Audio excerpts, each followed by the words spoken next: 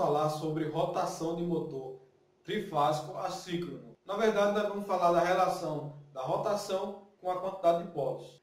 Para calcular a quantidade de polos do motor, eu preciso conhecer a rotação nominal do motor. Nós sabemos que todo motor trifásico assíncrono ele gira em função do campo eletromagnético, ou seja, o campo girante que aparece no estator quando a gente alimenta ele com a rede trifásica. O campo eletromagnético é responsável para movimentar o rotor do motor. Esse campo, esse campo girante ele tem que estar com uma diferença entre a rotação do rotor e a rotação dele mesmo. Ou seja, essa diferença a gente chama de escorregamento. Tem que existir essa diferença para poder existir a força ou impulsionamento do campo em relação ao rotor. Então, nós vamos calcular nós vamos ver qual é a fórmula para calcular a quantidade de polos de um motor. Considere a placa do motor apresentada aí. A rotação nominal desse motor é 1740 RPM. Essa rotação aí se refere não à rotação do campo girante, mas à rotação do rotor. Vamos utilizar esse, esse valor de rotação para a gente descobrir a quantidade de polos do motor. Então aqui eu tenho a velocidade, 120 que é a constante da fórmula, e F, que é a frequência nominal do motor. No caso, a gente vai usar 60 Hz, que é a frequência que nós vamos aplicar, a frequência que está aí na placa desse motor, nós vamos escolher 60 Hz. E a quantidade de polos. Eu tenho já a velocidade e não tenho a quantidade de polos. Já tenho a frequência, porém eu quero descobrir a quantidade de polos desse motor. Vou fazer uma relação da frequência com a rotação e aí eu vou descobrir a quantidade de polos. Essa constante aqui está relacionada ao semiciclo da tensão, ou seja, o que seria o semiciclo?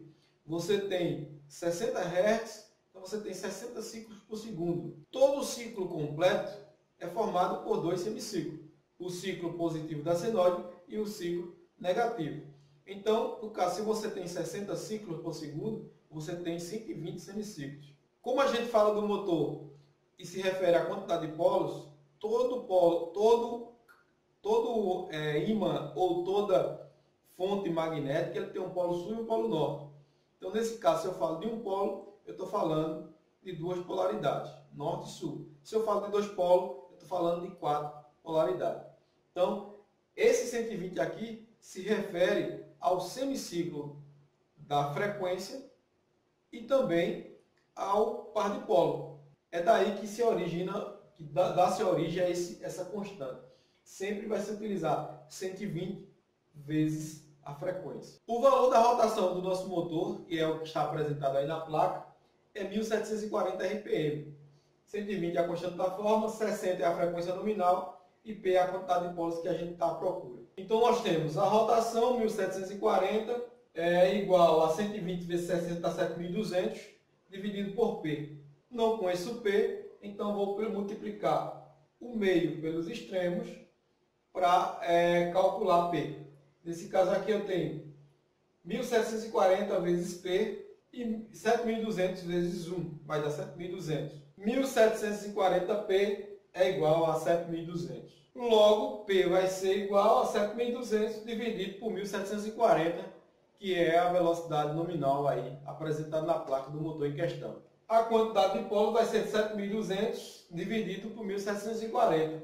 Logo, a quantidade de polos do motor é 4,2. Não existe polos com uma fração, ou seja, você tem 4 polos, 2. Então não tem condições de você ter 4,2 polos. Na verdade, essa diferença aqui deu, por quê? A gente está falando da rotação do rotor. Esse resultado aqui, certo? É a relação do, do campo girante, seria a velocidade do campo girante, com essa, essa, a frequência e o, a constante da forma. Nesse caso aqui eu não encontrei a quantidade de polos relacionado certo? à velocidade real, que seria a velocidade do campo girante. Eu encontrei a quantidade de polos relacionado à, à velocidade do eixo do motor. Nesse caso, eu vou considerar que a quantidade de polos do motor é 4 polos. Por quê? Não existe um polo fracionado. 4 polos mais, mais 0,2 polos não existe. Então, eu sei que esse motor aqui é 4 polos. Então, 1740 RPM, o motor de 1740 RPM tem 4 polos. Logo, se eu quiser saber a, a rotação do campo girante, é simples. Eu vou esquecer essa fração aqui e vou fazer o seguinte, ó. Na verdade, eu vou dividir 7.200 por 4. Eu vou ter exatamente 1.800 RPM. Então, a velocidade do campo girante desse motor é 1.800 RPM, que corresponde a exatamente a 4 polos. Então, a velocidade do campo girante é 1.800 e a velocidade do rotor é 1.740. Então, a diferença da velocidade do rotor e a velocidade na ponta do eixo do motor para o campo girante é de mais ou menos 60 RPM. 60 RPM é a diferença entre os 1740, que é a rotação do eixo do motor, e os 1800, que corresponde à rotação do campo girante. Os 60 RPM vai dar exatamente 3,3%.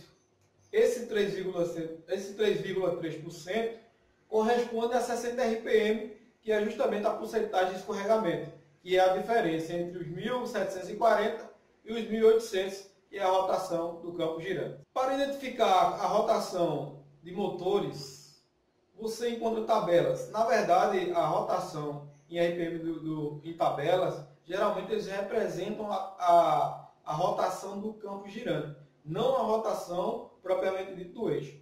O valor de rotação em RPM na placa do motor, ele expressa a velocidade, a rotação do motor, é, do eixo do motor, não a rotação do campo girante. Essa foi a nossa aula sobre rotação de motor e quantidade de polos. Dê seu like, não esqueça de fazer seu comentário, se inscrever no canal. Até a próxima aula com o professor Givan.